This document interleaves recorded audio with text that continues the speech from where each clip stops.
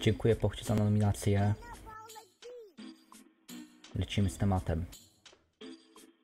Urodziłem się Polakiem, każdy lekar jest kozakiem, zasadami jest na bakier, takie życie jest tu bracie, każdy pit to się tu waży, góra hajsu dla lekarzy, bez pieniędzy chuj z leczenia, każdy pacjent już umiera, nietoperek był wjebany, teraz świat jest rozjebany, po covidzie ciężkie rany, każdy człowiek jest obstrany, rantanna mocno bije, chore są tu nawet świnie, setka chorych już w Lublinie, kiedy to do kurwy minie?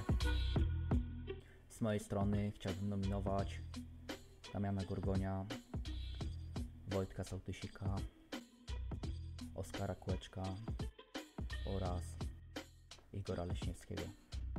Dziękuję.